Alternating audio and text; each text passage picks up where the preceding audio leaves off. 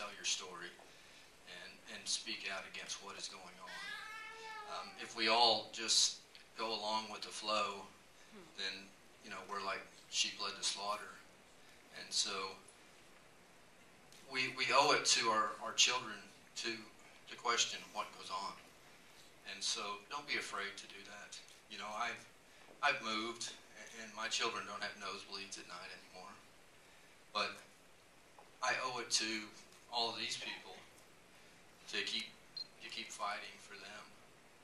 And so, you know, the the the the, the illustration in the movie where you know together we bargain, divided we beg, and that's reality.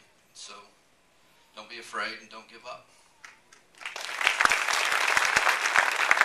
And Calvin Tillman has started an organization called Shale Test, which offers water and air testing to people who can't afford it.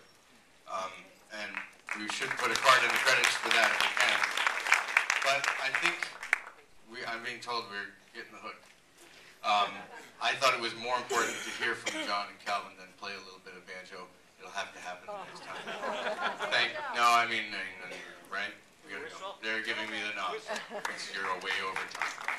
So I'll play some on YouTube.